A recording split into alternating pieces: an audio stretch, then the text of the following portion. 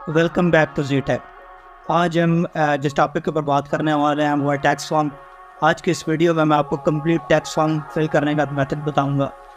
Tax form fill करने से पहले आपको कुछ इम्पोर्टेंट चीज़ें हैं, वो वो मैं आपको बता देता हूँ। अक्सर लोगों का टैक्स फॉर्म जो है, वो रिजेक्ट हो जाता है। उसकी रीज़न ये होती है कि उनका नाम जो है, वो आईडी कार्ड के ऊपर या जो एडसन में दिया हुआ वो सेम नहीं होता। और वो होता ही है कि उनका नाम जो है आईडी कार्ड के ऊपर उर्दू में लिखा होता है। लेकिन एडसन में आपको इंग्लिश में लिख देते हैं तो उसकी वजह से जो है फॉर्म रिजेक्ट हो जाता है। मोस्टली रिजेक्ट नहीं होता, लेकिन बार दफ़ा ऐसा होता है कि वो, उनका जो फॉर्म है वो रिजेक्ट हो जाता है। अगर किसी का फॉर्म रिजेक्ट हो भी गया तो आपको परेशान होने की कोई ज़रूरत नहीं है। इसका वहीं पे आपको सोल्यूशन मिल जाएगा। जैसे ही आपकी रिजेक्शन की कोई बेल आती है तो बेल के नीचे एक लिंक दिया होता है, जिसके ऊपर आपने क्लिक करना है, उसके बाद आपके सामने छोटा सा बॉक्स शो हो जाएगा। उस बॉक्स के अंदर आपने अपना जो उर्दू में नाम है, वो लिख देना है तो वो आपका जो है अप्रूव हो जाएगा। वो असल में आपका उर्दू में नाम नाम जो है डिटेक्ट नहीं कर पाते तो इस वजह से वो दोबारा नाम पूछते हैं ताकि आप उसका नाम जो है उर्दू में भी लिख दें तो वो उनको टैली करके उसको वेरीफाई कर देते हैं। तो चलिए चलते हैं लैपटॉप की स्क्रीन की तरफ़, और मैं आपको बताता हूँ कि किस तरह से आपने टैक्स फॉर्म फिल करना तो इस तरह की स्क्रीन के आपके सामने आ जाएगी एडिशन के ऊपर। वहाँ पर जाकर आपने यहाँ पेमेंट्स के ऊपर क्लिक करना है। नीचे यहाँ पर दो ऑप्शन आ रहे हैं। यहाँ इसमें से पेमेंट्स इन्फो के ऊपर आपको यहाँ पर क्लिक करना है। उसके बाद आपके सामने इस तरह का पेज आ जाएगा। नीचे स्क्रॉल करेंगे तो मैनेज सेटिंग, इसके ऊपर क्लिक कर लेना। उसके बाद नीचे स्क्रॉल करेंगे तो यहाँ पे United State, United State tax info यहाँ पे आप क्लिक करना है और इसके सामने एडिट का एक ऑप्शन दिया हुआ है। यहाँ एडिट के ऊपर आपने क्लिक कर लेना है। क्लिक करने के बाद यहाँ मैनेज टैक्स इन्फो आ जाएगा। इसके ऊपर क्लिक कर लेना और इसके साथ आपके सामने इस तरह का पेज आपको शो हो जाएगा। एड टैक्स इन्फो का बटन जो है वहाँ पे वेबसाइट पे दिया हुआ है। उसके ऊपर क्लिक करके स्टार्ट फॉर्म के ऊपर क्लिक कर देना। उसके बाद आपके सामने इस तरह का पेज आ जाएगा। तो यहाँ से आपने आपका फॉर्म स्टार्ट हो चुका है। आपने यहाँ सबसे पहले इंडिविजुअल अकाउंट है तो आपने इंडिविजुअल कर देना है। आपका बिज़नेस अकाउंट नहीं है तो उसको छोड़ दें। नेक्स्ट के ऊपर आप क्लिक कर दें। या नेक्स्ट के क्लिक करने के बाद इस तरह का एक और आपके सामने शो हो जाएगा कि वो पूछता है कि आप क्या यूएस स्टेट से हो? तो हम पाकिस्तानी हैं तो हमने नो के ऊपर क्लिक करके इसको नेक्स्ट कर देंगे नेक्स्ट के ऊपर क्लिक करने के बाद नीचे फॉर्म के आपके सामने दो फॉर्म की टाइप शो हो जाएँगी। इसमें से आपने पहले के ऊपर क्लिक करके start W P E N form click कर लेना। उसके बाद आपके सामने इस तरह का एक पेज शो हो जाएगा जिसमें आपसे पर्सनल इन्फॉर्मेशन मांग रहा है। तो सबसे पहले आपने ऊपर आपका नाम होगा, नीचे यहाँ से आप अपना रीजन जो है पाकिस्तान सेलेक्ट कर लेना। अगर आप पाकिस्तान से बाहर से हैं तो वो अलग। यहाँ पे आपने अपना आईडी कार्ड नंबर दे देना है। यहाँ पे मैं अपना आई कार्ड नंबर टाइप कर देता हूँ, लेकिन आपको शो नहीं कराऊँगा क्योंकि ये पर्सनल इन्फॉर्मेशन है। आपको कोई भी पर्सनल इन्फॉर्मेशन यहाँ पर नज़र नहीं आएगी, वो आपने अपनी देनी है। ठीक है।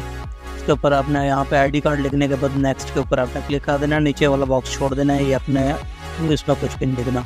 या नेक्स्ट के ऊपर क्लिक कर देना है। और इसके साथ उसके बाद आपके आपसे ये एड्रेस मांग रहे हैं, नीचे जो है सिटी मांग रहा है, ये सारे अपने फॉर्म ऊपर पहले चेक लगा के नीचे वाला पूरा फॉर्म जो है इस पर पर्सनल इन्फॉर्मेशन आपने दे देनी है।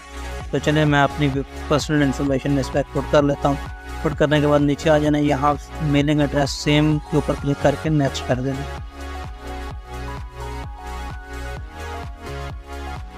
नेक्स्ट करने के बाद आपके सामने इस तरह का एक आएगा पेज तो यहाँ पे यस के ऊपर क्लिक करके नीचे आपने एक चेक लगाना है और नीचे कंट्री में जाकर पाकिस्तान या जो भी आपकी कंट्री है, वो सेलेक्ट कर लेनी मैं यहाँ से पाकिस्तान सेलेक्ट करता हूँ।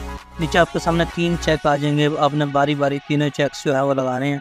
मैं चलिए शुरू करते हैं। पहला चेक लगाते हैं। इसके ऊपर लगाएँगे तो नीचे आपके सामने दो ऑप्शन हो जाएँगे। इनको आपने यहाँ पे article three and paragraph two उसके बाद इसके ऊपर zero percent reduce treaty rate इसके ऊपर आपने क्लिक कर लेना है, नीचे ने इसका चेक भी लगा देना है, फिर हमने सेकंड के ऊपर आ जाना है, यहाँ पे चेक लगाना है। चेक लगाने के बाद आपने इसके ऊपर भी आर्टिकल ट्रिटी और नहीं यहाँ पर थर्टी परसेंट के ऊपर क्लिक कर है। और नीचे आपने यहाँ पे एज टैक्स के ऊपर चेक लगाना नीचे फिर इस यहाँ पे भी चेक लगाना है। ठीक है, इसके ऊपर चेक लगाने के बाद आपने यहाँ पे भी एक एक, यहाँ ज़ीरो परसेंट ऊपर क्लिक कर लेना और यहाँ पे चेक लगाने के बाद नेक्स्ट के ऊपर क्लिक कर लेना। उसके बाद यहाँ आपके पास तरह का एक ऑप्शन शो हो जाएगा तो इसको आपने नो कर देना। नो करके तो चेक लगा के नेक्स्ट नीचे यहाँ पे I accept the procedure and delivery argument इसके ऊपर क्लिक करके चेक लगा के इसके ऊपर नेक्स्ट कर देना है। यहाँ I confirm that I have reviewed इसके ऊपर करके आपने नेक्स्ट कर देना है। नीचे यहाँ यहाँ पर भी चेक लगाना है। आई सर्टन अंडरस्टैंड के ऊपर। और यहाँ आपने 2020 को हटा के 2023 कर देना है। और ये ऑप्शनल है, इसको आपने छोड़ देना नीचे स्क्रोल कर लेना है। यहाँ नीचे स्क्रोल करने के बाद आपके सामने ये दो ऑप्शन आ रहे हैं, आ रहे हैं।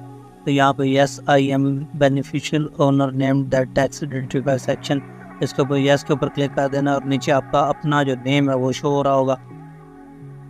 ठीक है, इसके ऊपर मैं यस के ऊपर क्लिक कर लेता हूँ और नीचे फिर जो है आपका अपना नेम जो है वो वेरीफाई कर देना है और उसके बाद आपने यहाँ सबमिट के ऊपर क्लिक कर देना सबमिट पर क्लिक करने के बाद आपका जो है टैक्स फॉर्म जो है वो अप्रूव होने का है। जो नोटिफिकेशन है वो आपके सामने शो हो जाएगा। ऊपर आप देख लें स्टेटस जो है आपका अप्रूव लिखा आ रहा है डेट भी लिखी आ रही है कि किस डेट को आपने आपका आपका अपना नेम भी लिखा आ रहा है। ठीक है उसके बाद वो क्लेम नीचे क्लेम का ऑप्शन आ रहा है उस, उसके बाद आपने यहाँ पे हम जाके मेल के ऊपर भी चेक कर आपके पास एक मेल भी आएगी।